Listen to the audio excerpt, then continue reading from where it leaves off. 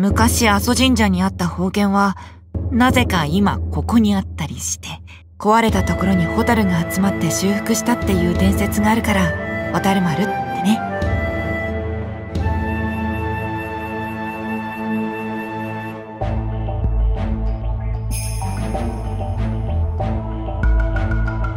僕は大和の神安貞起きた掃除の愛犬の一つ扱いは難しいけど性能はいいと思う。よろしく。大和の神安貞扱いにくいけどいい剣のつもり。一騎打ちなら勝てると思うか？んじゃ派手に戦いますかと。